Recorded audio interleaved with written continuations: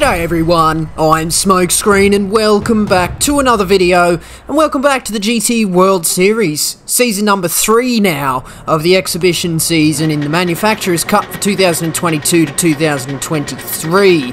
Uh, this is pretty much a follow-on from the previous video, but the previous video was very much focused on uh, looking at and analysing and forming an opinion on the new interpretation of Grand Valley that's appeared in Gran Turismo 7 a few days ago.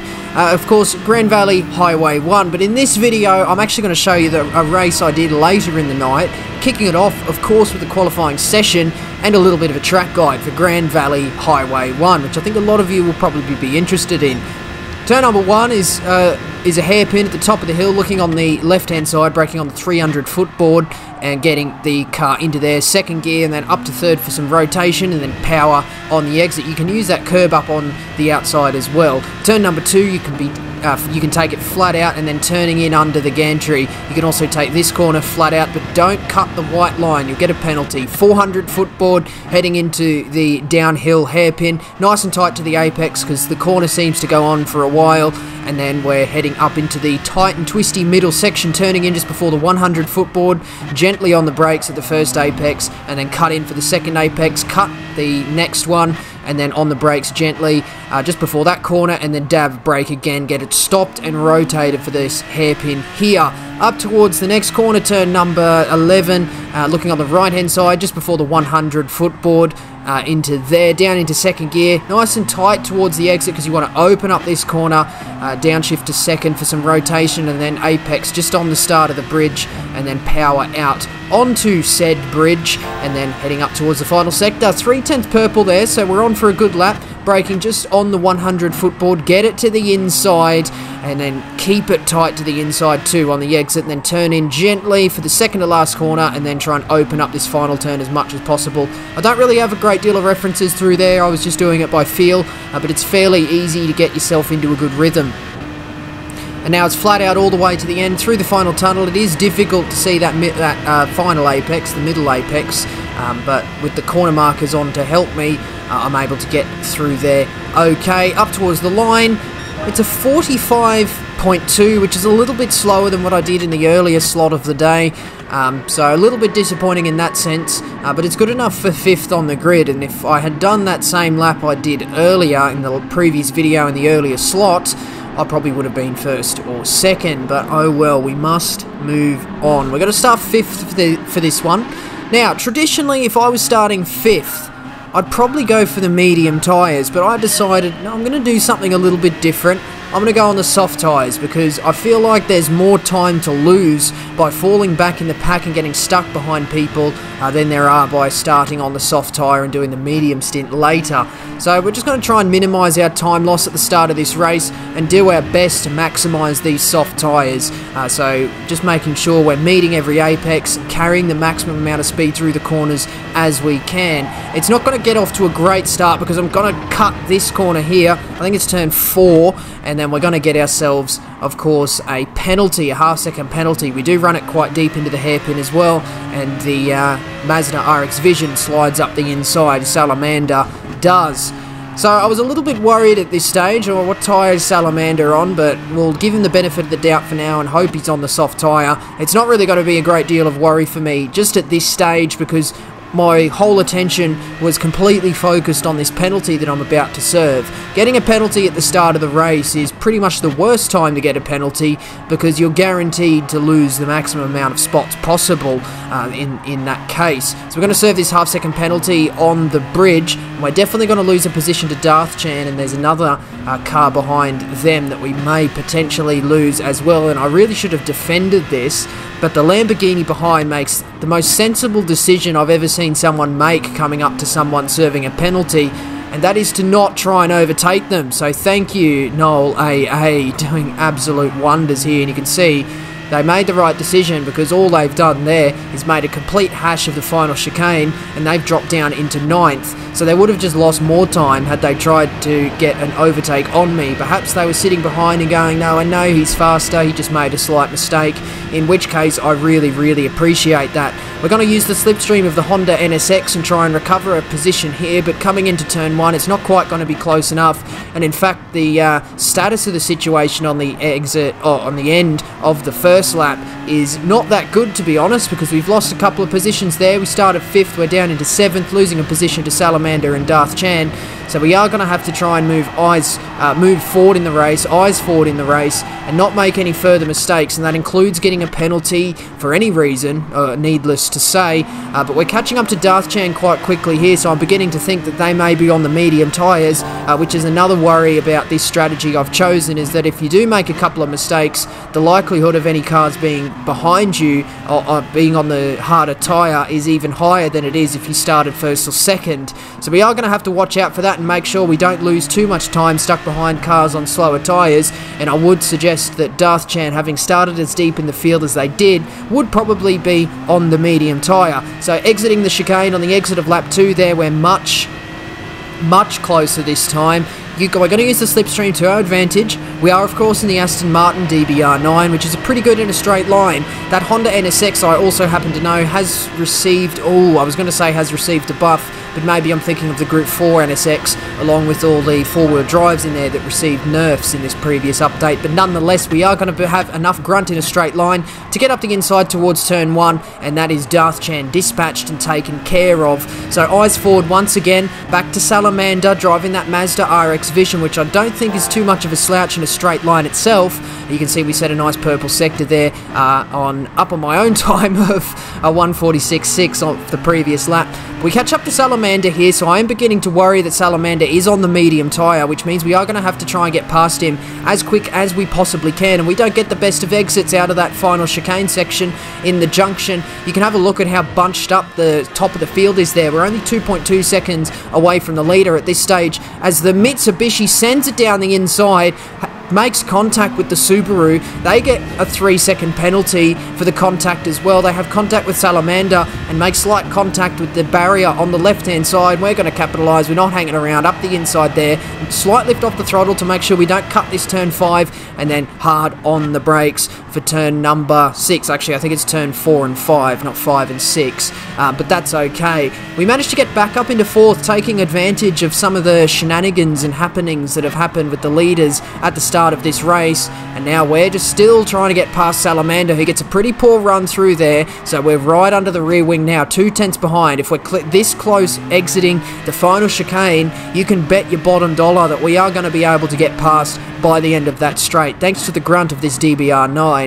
Now, I have mentioned that the DBR9 is pretty good in a straight line, and that does come at a cost, and the cost, uh, the invoice of which is through the corners. So we are going to have to make sure we don't scrub the tyres too much and just slow down a little bit extra than perhaps Salamander does. We're catching up into this final corner, but we just make a slight movement to try and put him off. And he does run a bit wide. It's not enough to get past him though, but hopefully it just shakes him and rattles him and he makes a mistake through this section here. Make sure we don't make a mistake ourselves. Slight little bobble off the final apex, and that gap has opened up to 5 tenths of a second, so Salamander's got a pretty good run through there. Perhaps that RX Vision is a little bit better through that section because I'm worrying at this stage that Salamander is either very off the pace on the softs or he's on the medium tyres. So 4 tenths behind him at this stage, and once again, not quite close enough to get that move done. We're still only 2.8 seconds off the lead at this stage, so we're still well within touching distance of trying to pick up this victory.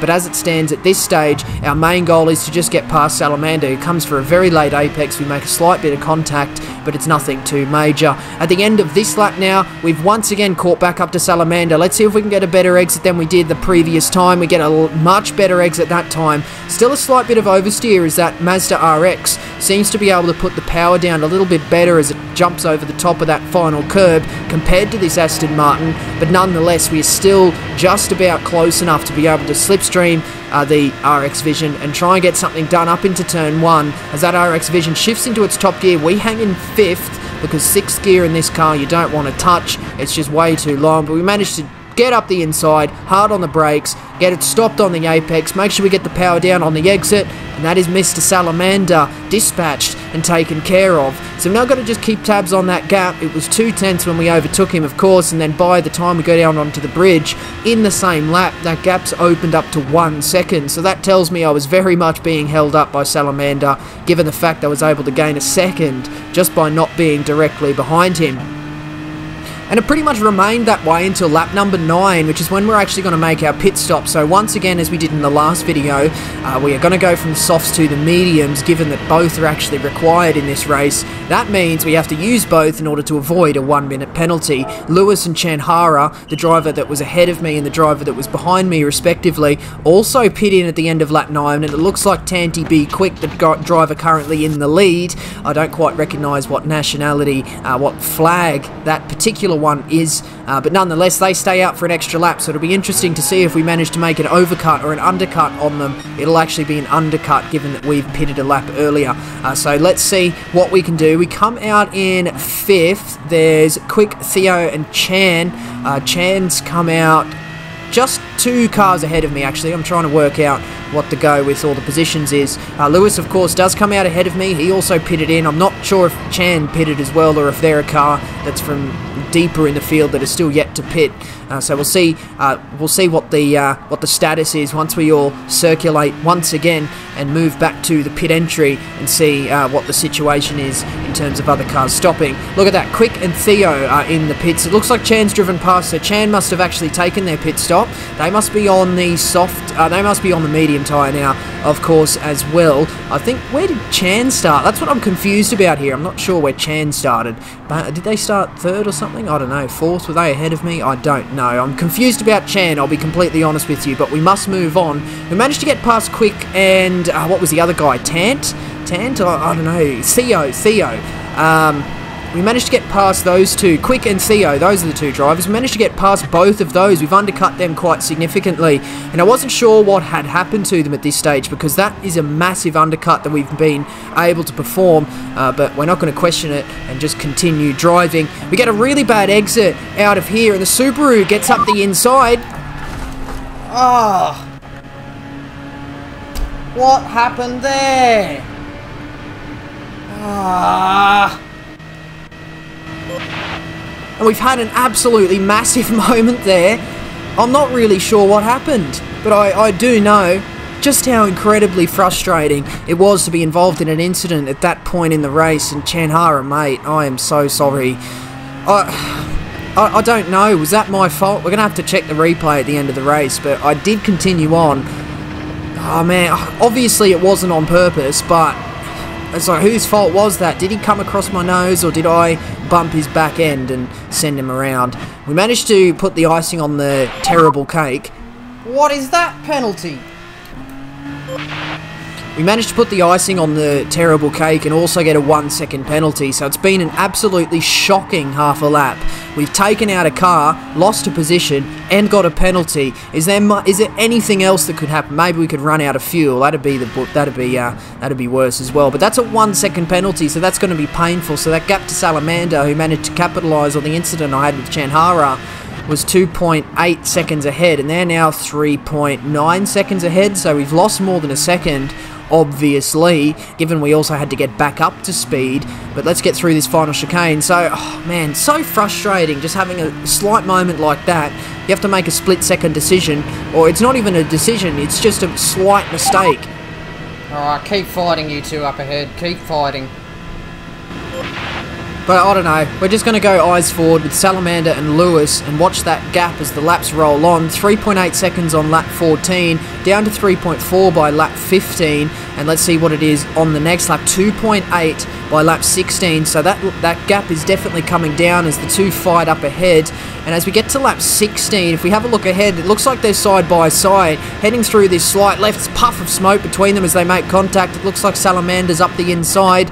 Is Lewis going to be able to hang it around the outside? It doesn't look like it as he assumes third position. But this is the final lap now, so as long as these two keep fighting through this final lap, perhaps I might have a chance of trying to scrape this podium back, which I honestly believe I could have kept had I not taken out the Subaru. But we'll see if it was my fault at the end of the race anyway. Uh, but it looks like Salamander has successfully got past Lewis, and I think we're all on... Actually, no, Salamander's on the soft tyre. That's something I forgot to talk about. I did happen to notice during the race that Salamander pitted in on the medium tyre, so we were stuck behind them for quite a while, so they're now going to be on their soft tyre later in the stint. Someone's had an incident there. It looks like Salamander's uh, gone a little bit wide and crashed into the barrier on the exit, and that just means they're going to get a really poor run out of there, and that gap's down to one second. And with only about a sector to go left of this race, are we able to uh, scrape something together and piece together some form of a podium uh, podium result here, podium paying result on the back of the podium?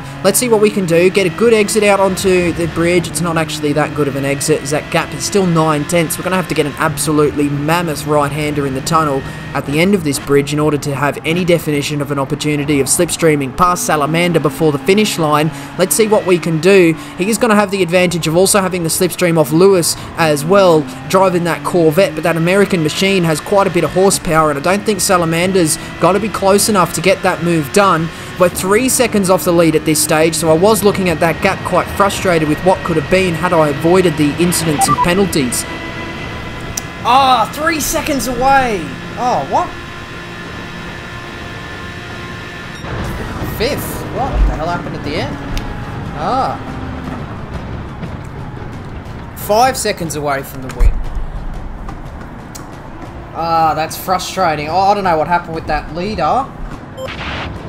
So what I thought was going to be a fourth turned out to be a fifth because Quick reappeared so remember they pitted in and I wasn't sure what had happened. I assumed I undercut them massively and then they got involved in an incident, but uh, they reappeared.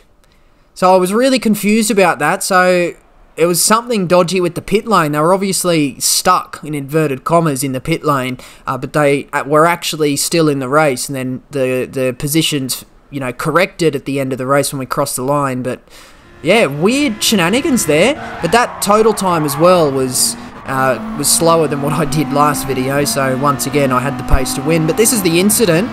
Let's have a look as the Subaru makes its way past and. Oh, it's just awkward contact on my front corner, on his rear corner. It's just enough to send his car around.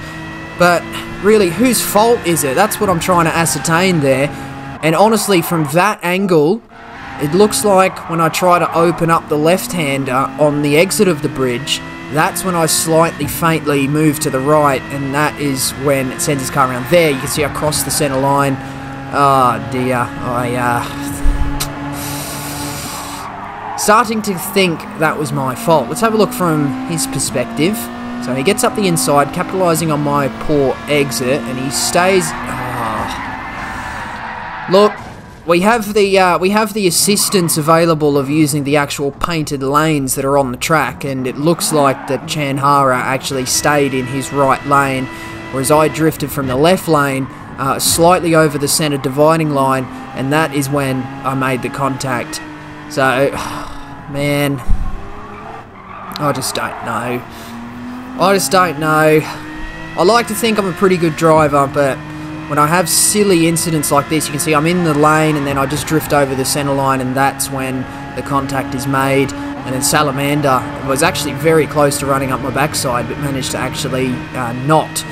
But I guess, I guess it's my fault. This is something else I captured during the replay is this is some of the cars. So I think Theo and Quick are two of these cars here and you can see on my end they're stuck in the pit lane jumbling about. So I thought that was quite funny. But I, I kind of felt like I had more pace than what I displayed in that race, so I decided to enter the next slot, uh, which was going to be, I think, the third last of the night or something. Uh, but when we click on the entry button, it's a funny looking Grand Valley, I'll be honest. It had changed to Nürburgring GP, and I was very confused about what happened.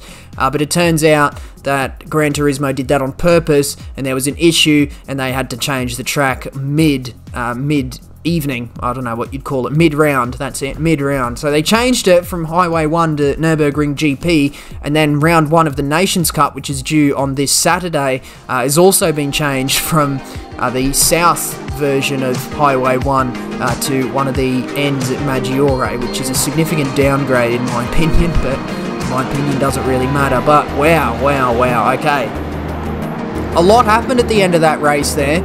There's been an incident that was probably my fault. There's been a track change. There's been all sorts go on. Uh, but what I'm going to do, track change, I actually did a couple of these Nürburgring races uh, because they nullified the points as well. So the points, which was 264 uh, for that fifth place there that I just did, uh, that's going to be nullified. So I actually had to do the next slot if I wanted to bring home a points result from round one. So that's going to be the next video.